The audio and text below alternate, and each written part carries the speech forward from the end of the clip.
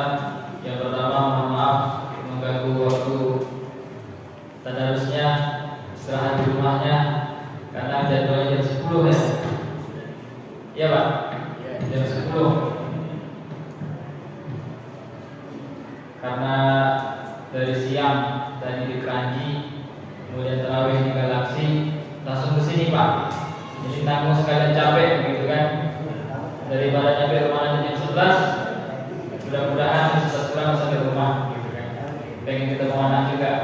Ya. Jadi nggak apa-apa pak. Insya Allah. Kita sudah berada di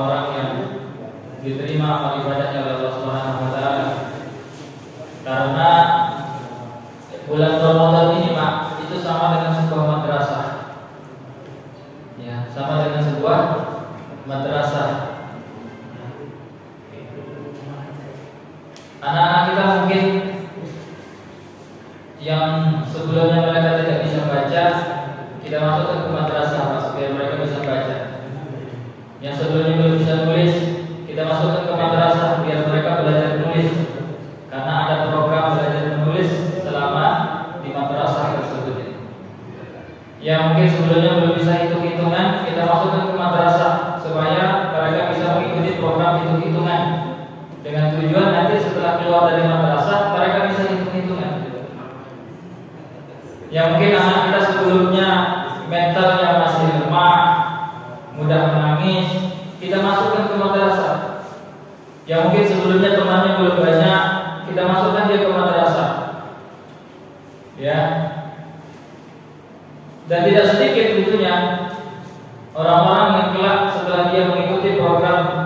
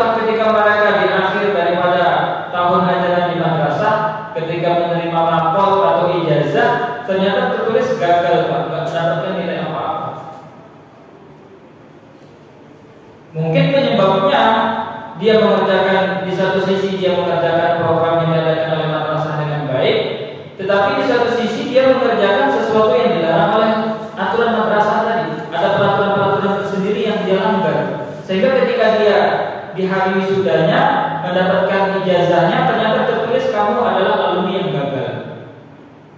Di satu sisi mengerjakan amalia ataupun program dengan baik, tapi di satu sisi dia mengerjakan larangan-larangan yang seharusnya tidak boleh dia lakukan selama berada di madrasah. Jadi kurang lebih Ramadan itu permisalnya seperti itu, Pak.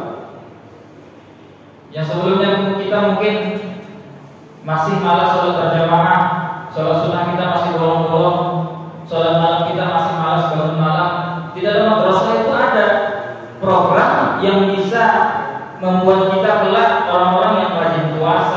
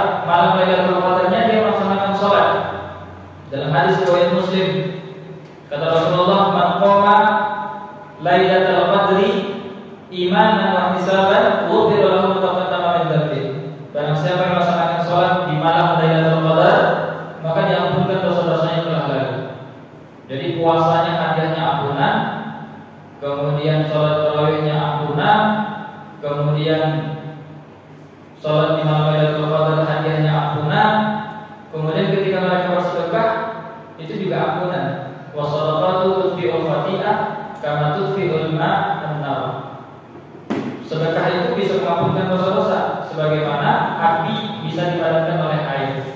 Ya sebagaimana air bisa memadamkan api. Itu Pak, paling tidak yang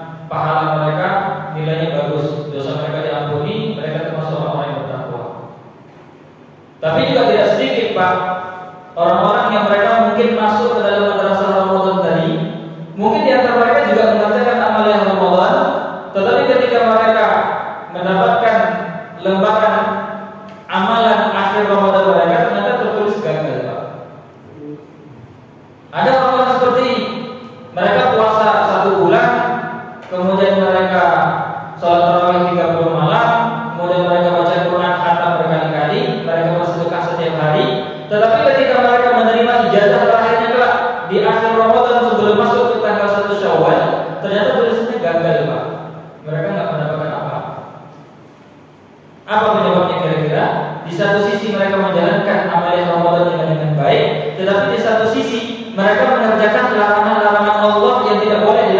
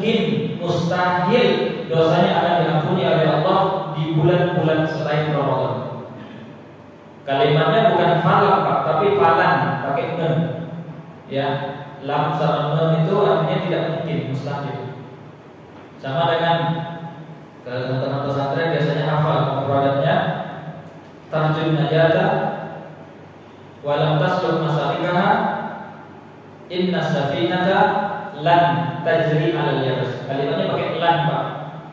Ketika ada seseorang yang menginginkan kesuksesan tetapi dia tidak menjalani tangga-tangga untuk menuju kesuksesan tersebut kemudian dikatakan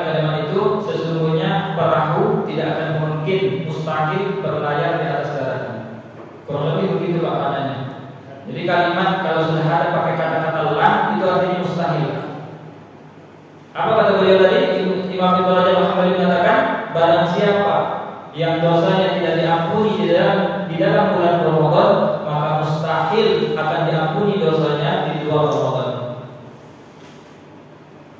Ya, karena Ramadan ini bulan ampunan. Ibadah siang dan malamnya yang tadi hadis-hadis kita bacakan itu penuh ampunan Allah. Siang puasa, malam tarawih itu ampunan semuanya, Pak.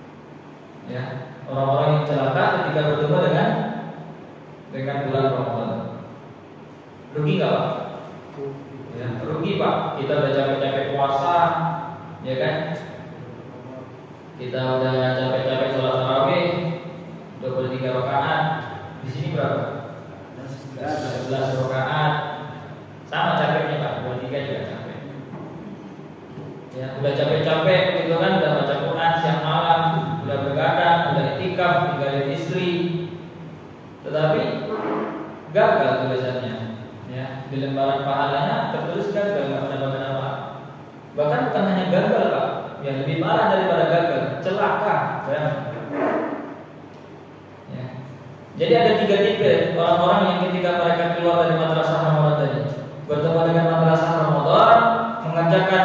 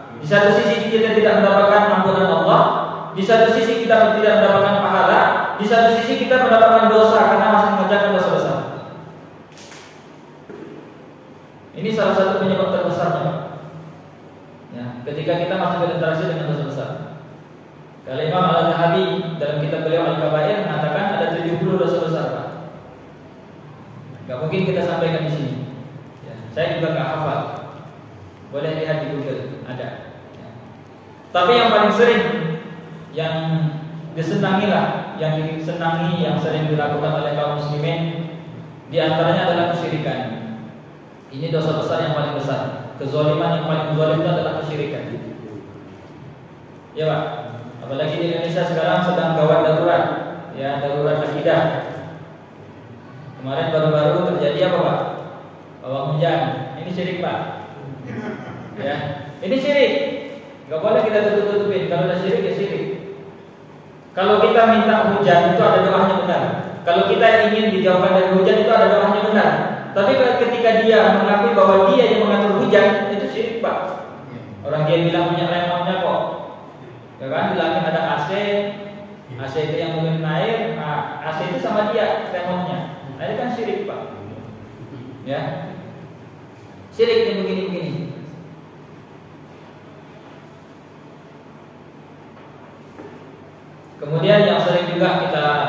lakukan terutama kaum muslimin di Indonesia dosa besar yaitu meninggalkan sholat pak. Iya pak, meninggalkan sholat lima waktu. Ini banyak pak, ya. Apalagi anak muda kita sekarang. Kayaknya nggak anak muda aja, ada yang tua-tua juga sama. Ya kan? Ninggalin sholat lima waktu itu udah gampang sekali pak. Ini dosa besar pak. Bahkan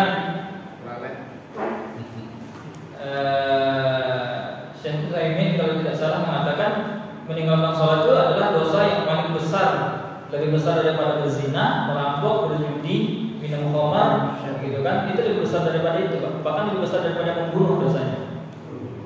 Ya. Bahkan Rasulullah menyebutkan dalam sebuah hadis, beliau mengatakan, "Man taraka salatal asri faqad habita amaluhu." Barang siapa yang meninggalkan sholat asar maka terhapus semua amalan yang pernah dia Asar saja pak, ya itu terhapus semua amalan yang pernah dia kerjakan.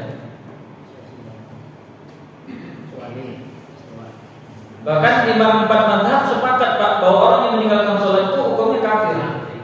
Ketika dia sengaja meninggalkan sholat itu hukumnya kafir pak.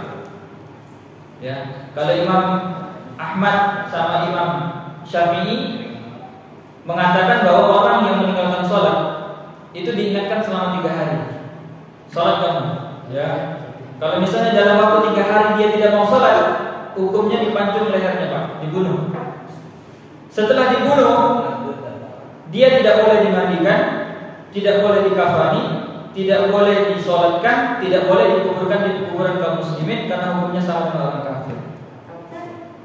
Ya pak, orang-orang yang meninggalkan sholat dengan sengaja.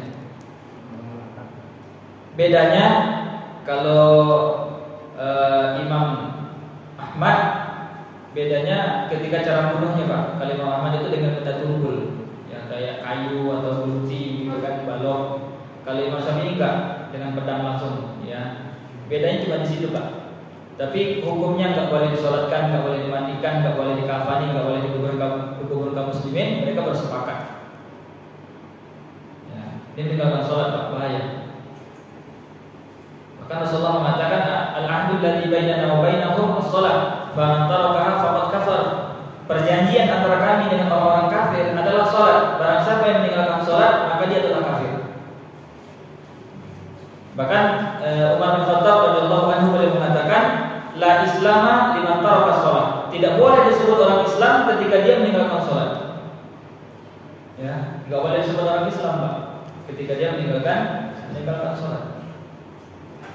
Ya, karena salat ini adalah rukun Islam kedua. Amalan terbaik setelah syahadat itu adalah salat. Ya. Kemudian adalah amalan yang telah pertama kali dihisab oleh Allah pada hari kiamat. Ya. Kata Rasulullah SAW, Inna awala ma yuhasabu bil abdu yaumil qiyamah as-salat. Bahwa amalan yang paling pertama kali telah dihisab oleh Allah adalah salat. Ya.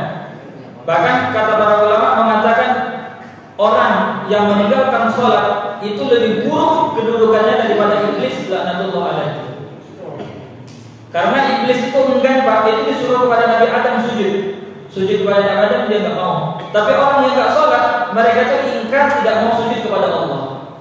Makanya kedudukan mereka lebih buruk daripada iblis. Ya orang-orang yang meninggalkan sholat itu. Luar biasanya, ya. Dan ini disenangi sama orang-orang muslim sekarang, orang-orang yang Islam KTP gitu ya.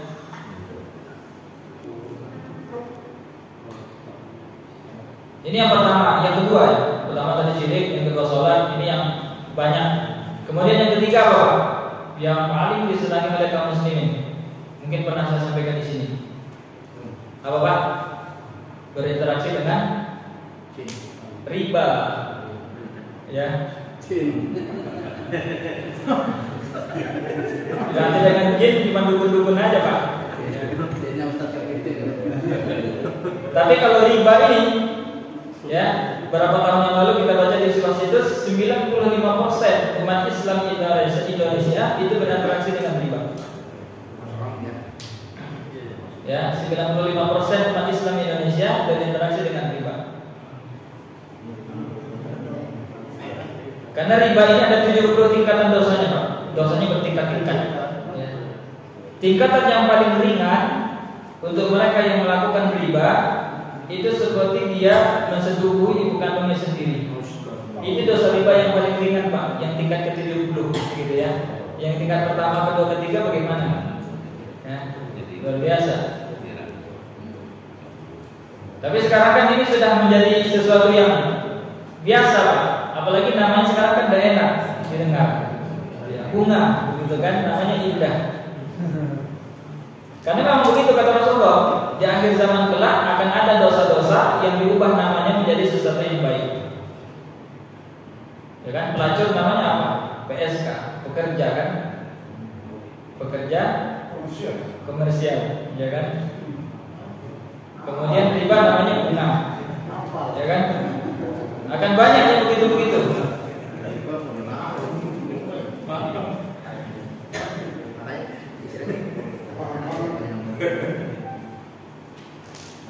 itu sudah menjadi mindset masyarakat kita sekarang, Pak. Kalau nggak punya uang ke bank, saya nggak bisa beli rumah. Begitu. Kalau saya nggak punya uang ke bank, saya nggak bisa beli mobil. Sampai ke orang-orang kampung, Pak. Kalau saya pulang kampung itu, banyak yang ngomong gitu. Ya mau ke mana lagi kalau kita nggak punya uang ke, koperasi, kita nggak bisa beli motor, begitu kan? Nggak bisa beli ini, beli itu. Ini sudah jadi mindset masyarakat. Ya, pinjam 10 juta, bayar kembali 11 juta, begitu kan? Itu riba. Walaupun bunganya cuma 0,005 persen, nah, walaupun sekecil itu kan itu riba. Ya, ini luar biasa. Dan dosa-dosa besar yang lain. Ya, berarti masih ada 67 ya. Baru tiga. Baru tiga, Pak. Sampai sepuluh. Bagusnya dibahas, Pak. Beberapa masjid biasanya bahas ya. Memang khusus kita kalau kabar dari dosa-dosa besar. Ada yang bahas begitu. Karena penting Pak, ya sholat lima waktu yang kita kerjakan itu walaupun hadiahnya adalah menghapuskan dosa, tapi ketika kita masuk ke dalam dengan dosa-dosa besar, kita nggak dapat ampunan Pak. Kan begitu hadisnya tadi dalam riwayat Muslim tadi. Syaratnya itu ketika mereka tidak mengerjakan dosa besar, baru mereka mendapatkan ampunan ketika mereka sholat, sholat Jumat, mengerjakan amalan Ramadan. Ketika mereka masih punya dosa besar, ya mereka nggak mendapatkan ampunan. Makanya penting ya yang disampaikan oleh Syekh Muhammad Ibrahim eh, Syekh Saleh Al-Munajjid Syekh Muhammad bin Saleh Al-Munajjid dalam risalah beliau yang berjudul Zadu Salih Ramadan Fursatan Litarbiyah wa Ta'lim. Beliau menyebutkan di situ ada beberapa bekal untuk menghadapi Ramadan. Yang pertama beliau sebutkan bekalnya adalah bertobat kepada Allah. Itu bekal utama Pak. Sebelum masuk Ramadan kita harus tobat dulu. Ketika hati kita bersih, kita sudah tidak ada lagi dengan dosa besar, interaksi dengan dosa besar, gak ada urusan lagi dengan dosa besar, barulah puasa kita mendapatkan ampunan, ya, sholat tarawih kita mendapatkan ampunan. Makanya kalau sehari saja pak, Ramadan kita itu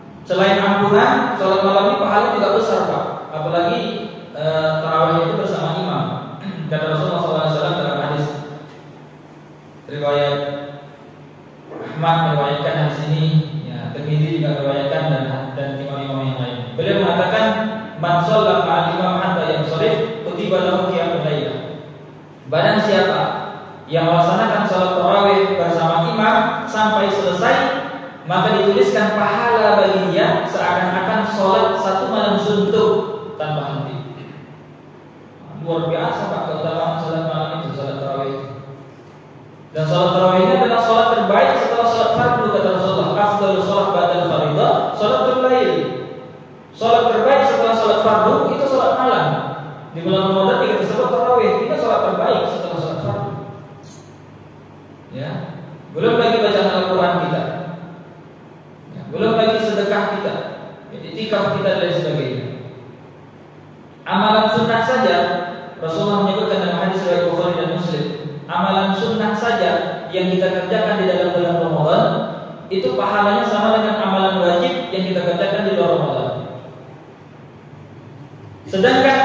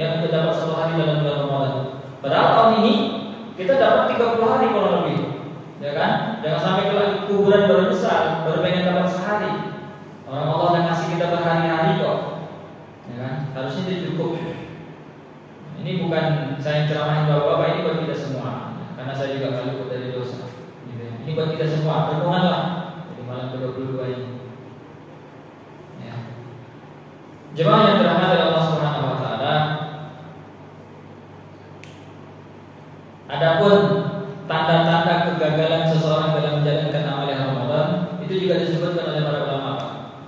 Nanti kelihatan setelah keluar dari Ramadan itu kelihatan Pak. Kalau tanda-tanda ini ada pada diri kita, berarti kita termasuk orang-orang yang gagal dalam menjalankan amalan Ramadan. Orang-orang yang termasuk kosong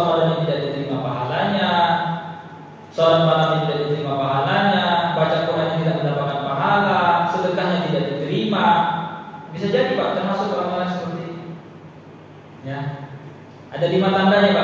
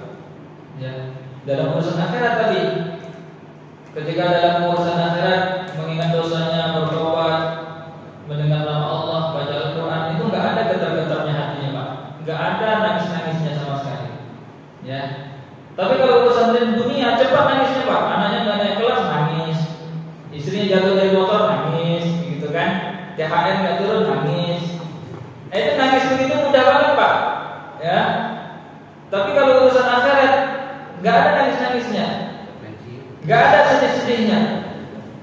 Ya, ketika istri, anak, anggota keluarganya bermaksiat, gak ada rasa sedihnya, gak ada rasa cemburunya. Nah, ini kepala keluarganya disebut Dayus pada Rasulullah. Ya, dari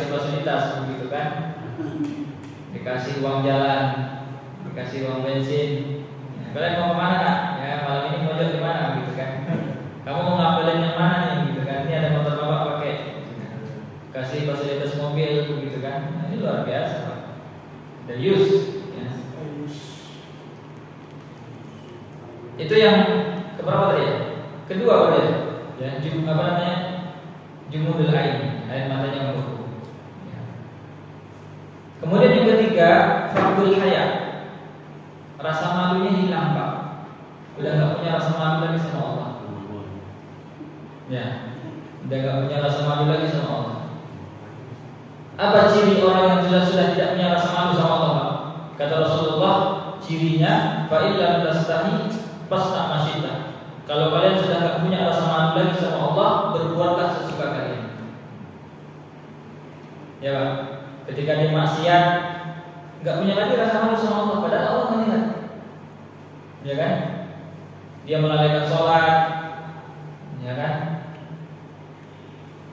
apa pun maksiat yang dia kerjakan ya tanda tangan uang haram begitu kan proyek haram zalim sama orang lain ya, makan riba ya tinggalin sholat dan lain sebagainya itu tidak punya rasa malu tenang-tenang aja.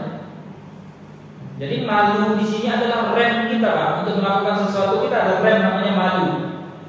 Kalau misalnya itu diperbolehkan sama Allah diberitakan sama Allah ya lanjut remnya jangan dikejar ya, jangan ditekan remnya. Tapi kalau sesuatu yang dilarang sama Allah, ya itu rem kita, rasa malu tadi itu, malu kita dilihat sama Allah. Ya, Jangankan perbuatan kita, yang terdetik dalam hati kita saja itu Allah tahu. Ya kan? Ada pohon misalnya di Amerika sana, pohon pete gitu ya, itu daunnya kecil itu jatuh, Allah tahu, Pak. Ya kan? Luar biasa. Ada anak kecil disuruh ya, motong ayam, tapi syaratnya nggak boleh lihat sama orang lain, nggak boleh lihat sama apa pun nggak boleh terlihat. Ya, teman-teman yang lain pada motongin, ada yang di sebelah batu, ada yang di bawah jembatan, ada yang di belakang rumah, gitu ya. Ada satu anak muda yang dia nggak berani, ya ayamnya masih utuh, begitu kan. Ketika ditanya, kenapa kamu nggak sebelah ayam? Tidak ada tempat yang tidak terlihat. Ya, ini luar biasa pak, merasa diawasi terus sama Allah. Ya, itu yang ketiga pak rasa malunya dan gak ada sama Allah. Tanda-tandanya itu tadi, pasti dia berbuat sesuka dia, maksiat sesuka dia, karena tidak ada lagi rasa malu sama Allah. Terus sekecil apa pun maksiat yang dia kerjakan, Allah terlihat pasti. Makanya ketika Imam Abu Ishaq Ibrahim Adham bin Adham ketika beliau ditanya oleh anak muda yang hobi maksiat, saya hobi maksiat gitu ya kasih saya nasihat bagaimana supaya saya tidak bisa bermaksiat sama Allah. Kata Abu Ishaq Ibrahim Al-Ham beliau mengatakan kamu boleh bermaksiat tapi syaratnya ada lima. Ya, kalau kamu bisa melakukan syarat yang lima ini silahkan kamu bermaksiat. Boleh hukumnya gitu kan semangat dia anak tadi ada syaratnya ternyata boleh maksiat gitu kan apa yang pertama wahai guru? Yang pertama, jika kamu ingin bermaksiat, bermaksiatlah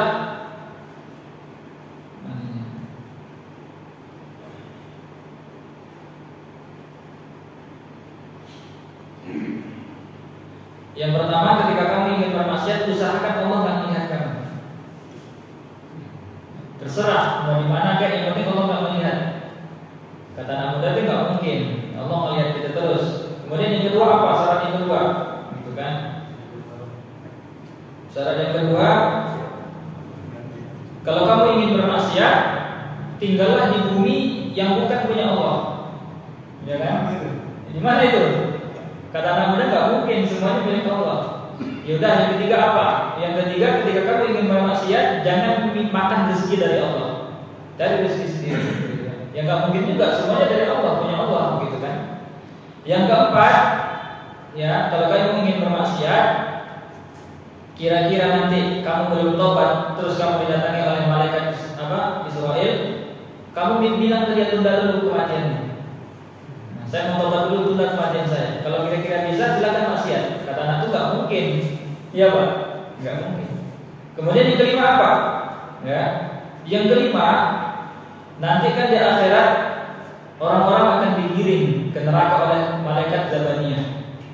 Kalau kamu bisa nanti ketika digiring kamu bisa ngelak, begitu kan? Nah, kamu silakan lakukan maksiat.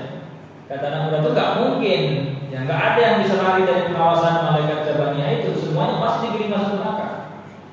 Kemudian baru biasa, ya nggak mungkin ya bisa bertolak bisa bermaksiat semuanya dalam pengawasan Allah. Kita makan rezeki Allah, tinggal di dunia Allah, nggak ada yang bisa menunda kematian kita, nggak ada yang bisa lari dari penghalauan malaikat zaman yang gelap di neraka, gitu kan?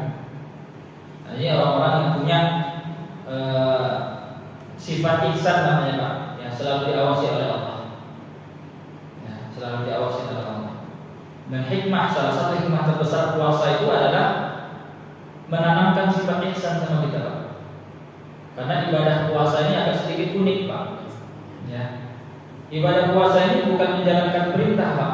Ya, besarnya bukan menjalankan perintah, tapi meninggalkan larangan lebih besarnya. Dan ketika kita bisa meninggalkan larangan di dalam bulan puasa, di dalam bulan puasa ini ibadah yang ketika kita bisa bersembunyi tidak diketahui oleh orang kalau kita puasa atau enggak. Contohnya ketika sholat zuhur, ketika kita berwudu, umur-umur tiga kali keluar dua, yang satu masuk ke dalam. Itu gak ada yang tahu pak. Tapi kenapa nggak kita lakukan? Ya, kenapa nggak kita lakukan? Nah, di sinilah hikmah salah satu hikmah terbesarnya Allah tanamkan sifat ihsan sama kita karena kita memang dilihat sama Allah. Ya, walaupun orang lain tetangga nggak tahu, orang sebelah wudhu tuh nggak tahu pak kalau tadi kita korupsi, tapi Allah kita nggak kerjakan itu pak. Nah, ini hikmah terbesar. Ya. Selalu diawasi merasa diawasi sama Allah. Itu yang ketiga pak. Ya faktul hayat. Hilang rasa malu. Kemudian yang keempat tanda kegagalan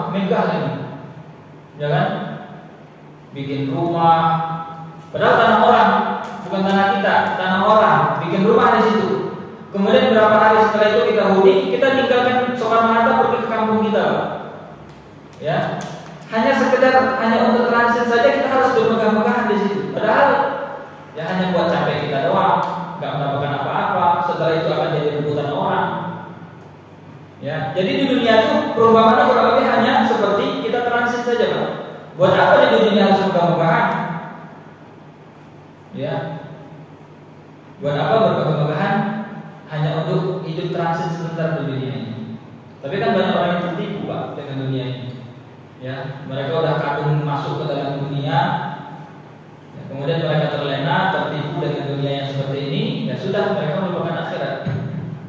Padahal rumus kehidupan dari Allah Subhanahu wa taala wa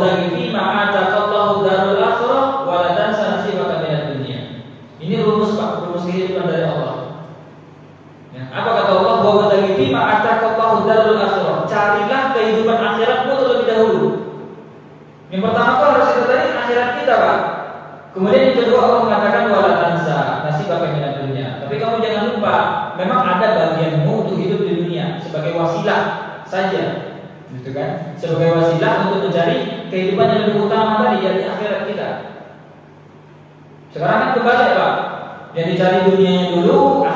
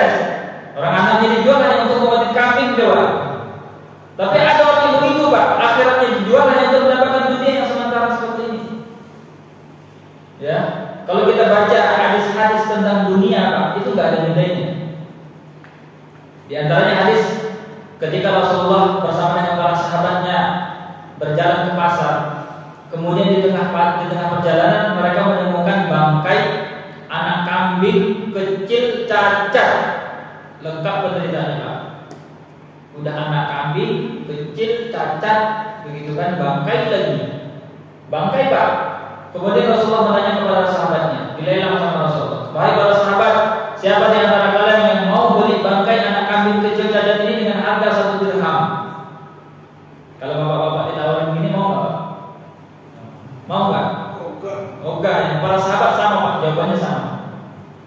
Kemudian Rasulullah turunkan harganya drastis. Siapa di antara kalian yang mau anak kambing kecil cacat ini gratis? Bapak-bapak mau nggak? Gratis sama sekirin pak? Gak mau juga ya? Gak mau juga. Iya. Begitu jawaban para sahabat.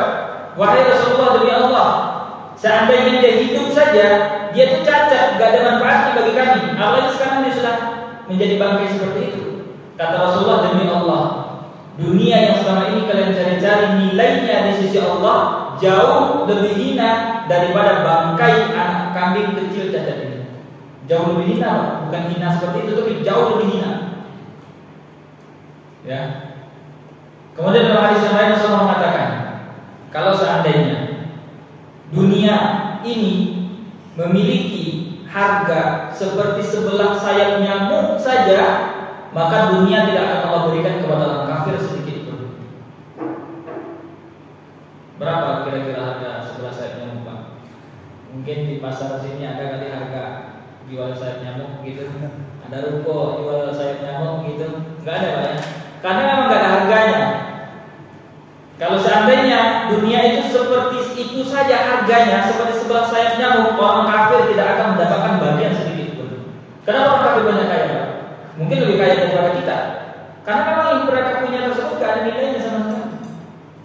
Ya, gak ada nilainya sama sekali. Seperti sebelah sayap nyamuk pun gak ada nilainya. Kemudian dalam hadis yang lain Rasul mengatakan ketika beliau mengatakan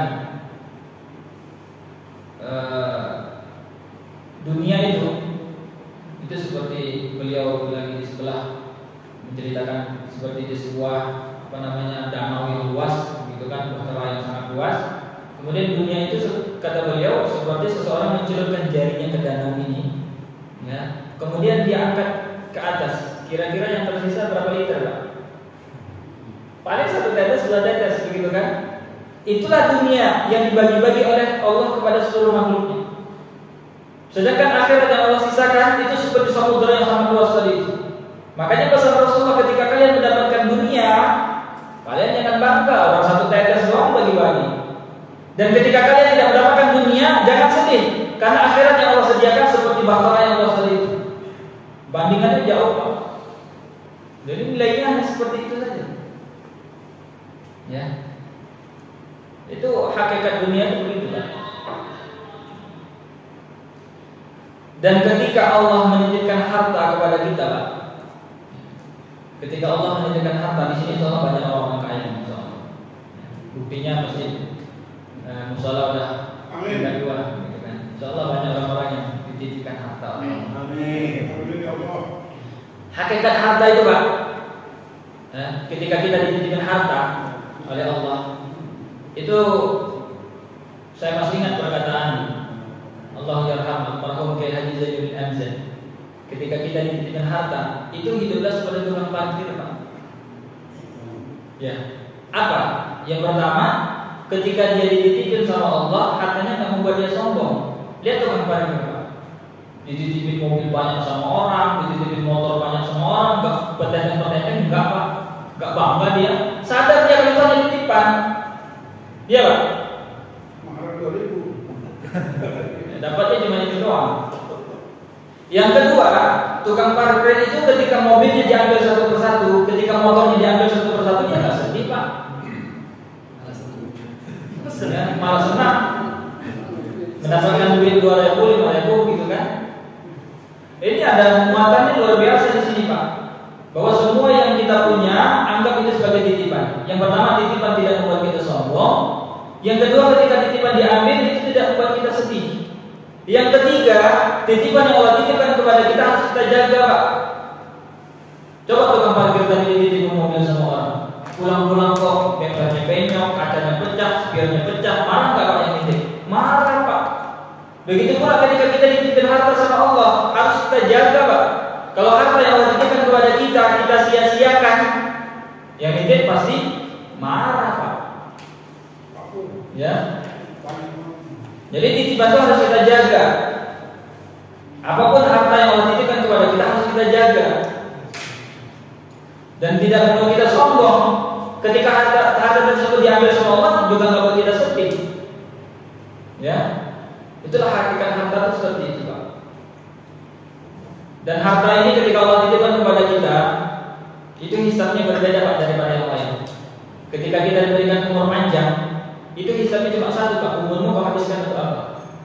Ketika kita dikasih ilmu sama Allah, hisabnya juga satu pak, ilmumu kau amalkan untuk apa? Tetapi ketika kita dikasih harta sama Allah, pertanyaannya dua pak. Hartamu kau dapatkan dari mana? Hartamu kau belanjakan untuk apa? Semuanya dihisab sama Allah pak. Ya, makanya wajar kalau Rasulullah dalam sebuah hadis orang miskin itu duluan masuk surga daripada orang kaya 500 tahun pak. Ya, jadi orang miskin sudah dulu ke surga 500 tahun, barulah orang-orang kaya nyusul. Karena hisab mereka lama, sekecil apa pun harta yang mereka punya, ditanya sama Allah, kau belinya dari mana? Kemudian kau gunakan untuk apa? Semuanya dihisab sama Allah. Makanya lama mereka masuk surganya. 500 tahun. Jadi 500 tahun. Oh,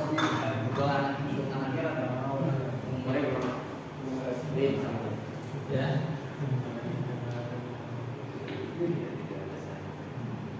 Cuma yang pertama dari Allah Subhanahu wa taala.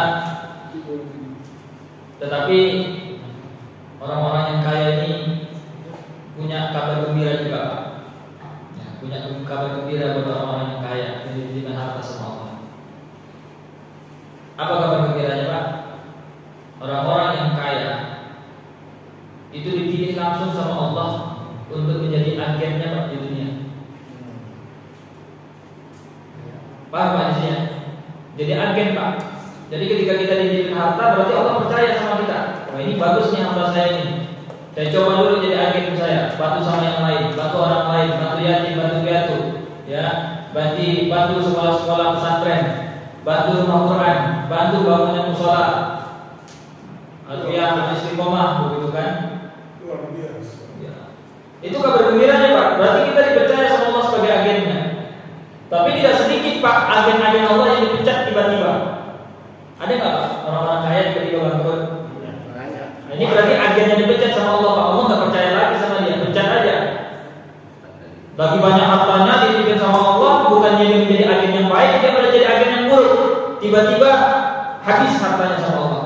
Entah perusahaannya bangkrut, entah dia ditipu sama teman, entah rumahnya kebakaran, entah anaknya masuk narkoba dan sebagainya. Ada cara Allah untuk menghilangkan itu semua. Tapi bagi mereka yang semakin bersedekah kok hartanya semakin banyak, ah, berarti Allah betah Pak menjadikan mereka sebagai agen. Ini cocok nih agen saya. Perpanjang terus sih kontraknya, begitu kan? Kurang lebih permisalan seperti itu Pak. Kurang lebih permisalannya seperti itu. Jadi ketika sekarang kita dipilih sebagai agen Allah Pak, jadilah agen yang baik. Ya. Berarti kita menjadi kaki tangannya Allah untuk membantu orang lain. Ya. Untuk membantu membantu orang lain. Ya, ya, yatim, ya, pesantren, rumah Quran dan sebagainya kita bantu. Dengan sendirinya nanti Allah akan melipat gandakan Pak harta kita. Setiap sedekah yang kita keluarkan itu tidak mengurangi harta kita. Kata Rasulullah SAW, mata mana kasat sedekah min mali tidak akan berkurang harta yang disedekahkan sama sekali. Ya. Bahkan dalam surah Al-Baqarah itu Rasulullah SAW berfirman, "Masalul ladzina yunfiquna amwalahum fi sabilillah kamathali habbah." Ya, permisalan orang yang bersedekah, berinfak di jalan Allah itu seperti sebuah biji. Ambatat sab'a kulli sumbulatin mi'atu habbah. Kemudian satu benih tadi itu tumbuh tujuh tangkai, Pak. Setiap satu tangkai itu isinya 100 buah. Jadi ketika kita sedekah satu, itu balasnya 700 kali lipat, Pak. Harta yang kita keluarkan. Ya. Ini harus kita yakini, Pak, orang yang yang seperti ini. Ya. Jemaah yang berahmat dari Allah tapi kan banyak juga yang sekali lagi yang keempat ini juga banyak ya, orang-orang yang semakin takut terhadap dunia, yang tertipu, Pak. Ya. Kemudian yang terakhir karena sudah waktunya habis, yang terakhir tanda kegagalan seseorang dalam menjalankan amal yang Ramadan adalah tulul amal,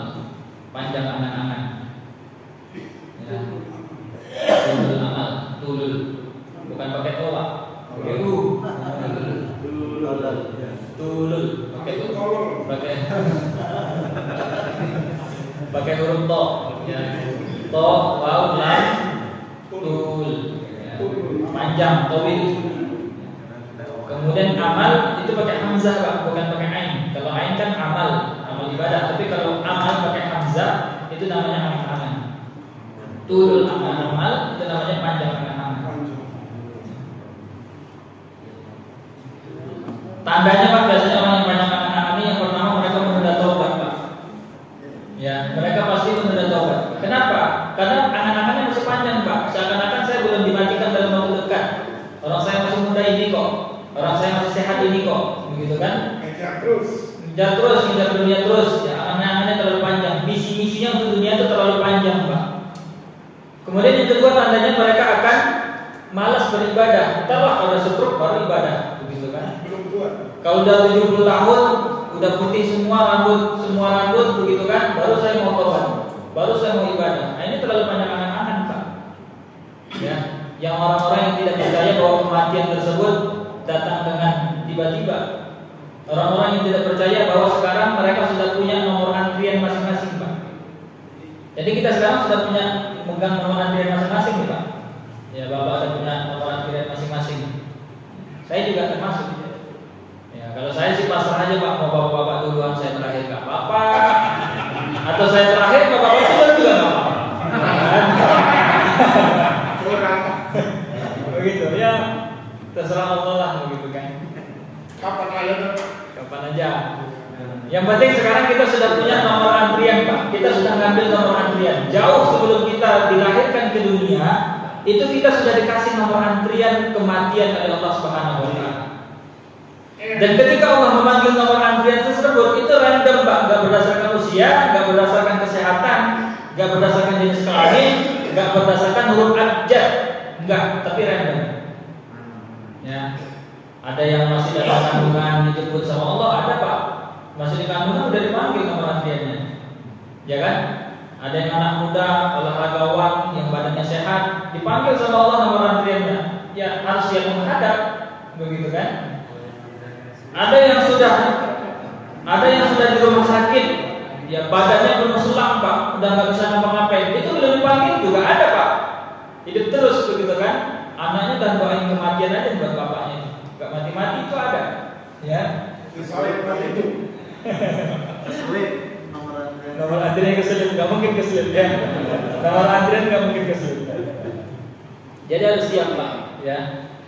Harus siap kapan dijemput sama Allah, jangan terlalu panjang angan-angan. Jangan terlalu panjang angan-angan. Jemaah yang dirahmati Allah Subhanahu wa taala, sebenarnya banyak yang mau disampaikan. Ya, bukan banyak sih masih ada maksudnya. Apalagi tentang kematian ini seru Pak. Kalau materi tentang kematian ini seru. Kan? Jangan Pak. ya udah satu jam lebih lima menit. Sabar.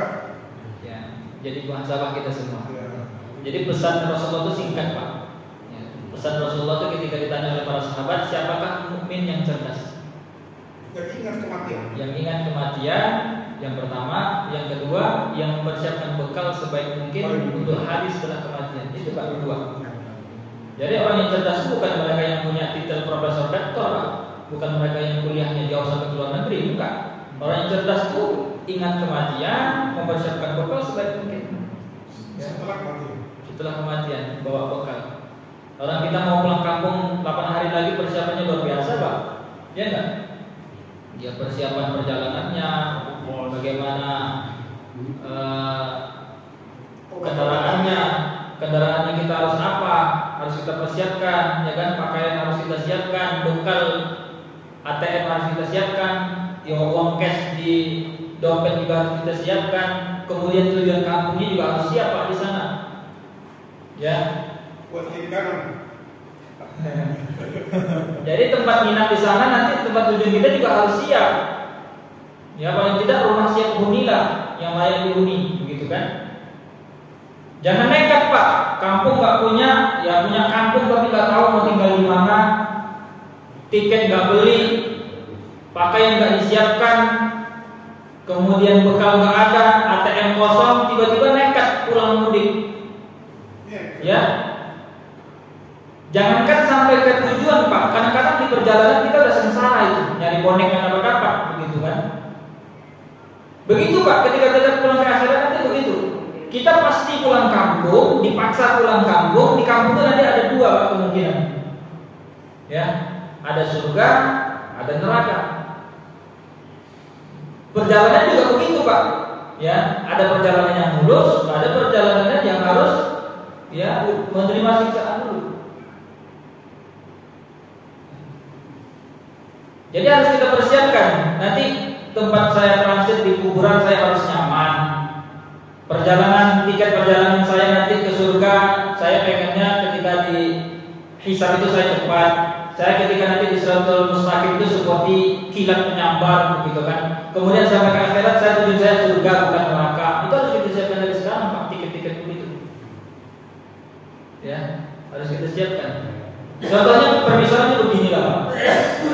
Sekarang kita kan semuanya perantau anggap perantau dari kampung kita masing-masing. Kemudian kata orang di kampung kata pengurus di kampung kalian suatu waktu dari rantau akan kami panggil tiba-tiba harus pulang kampung mau nggak mau siap nggak siap? Di kampung kami sudah siapkan dua kemungkinan tempat alternatif kalian tinggal.